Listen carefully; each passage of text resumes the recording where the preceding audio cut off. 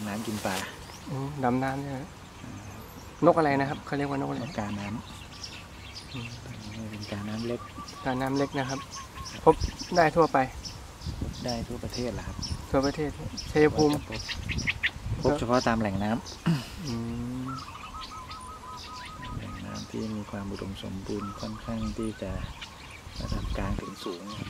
พวกนี้การดำน้ำหาปลา อ๋อ จะใช้วิธีเป็นนกที่มันจะไม่มีต่อมน้ำมันครับนกส่วนใหญ่พวกเป็ดพวกนี้มันจะมีต่อมอ๋อน้ำมันต่อมผิวหนังใช่ไหมครับไม่ครับมันก็จะเอาน้ำมันเนี่ยมาทาไม่ให้ขนเปียกน้ำเอาเหรอฮะหรือถ้าขนเปียกน้ำแล้วเนี่ยมันมีปัญหาการบินนะครับน้ำหนักตัวเยอะอ๋อแต่พวกนี้ไม่จำเป็นต้องมีเพราะว่า เวลาดำน้ำเนี่ยมันอยากให้ตัวมันหนักไงมันก็เลยต้องให้ขนมันเปียกอืมขนเปียกเสร็จปุ๊บพอกินปลาเสร็จ มันก็จะโผล่ขึ้นมาเกาะตามที่โล่งๆแบบนี้นะครับ ตากแดดอ่าใช่แล้วมันก็จะมีท่าประจำมันคือท่ากลางปีกอ๋อเวลาขนเปียกครับเพื่อให้ขนแห้งคืออันเดี๋ยวทวนอีกทีครับ เป็นเป็นนกที่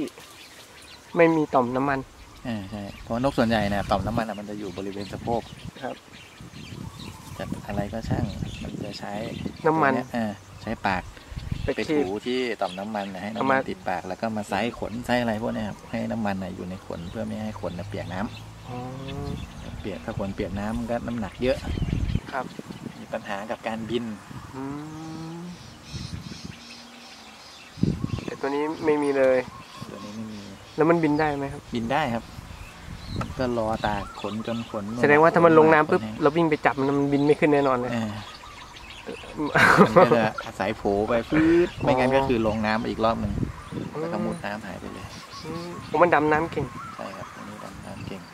ตีนมันจะเป็นเหมือนเป็ดนะครับมันจะมีผังผืดอ๋อครับ อันนี้ก็ได้ความรู้จากนาออฟนะครับไทยทีบก็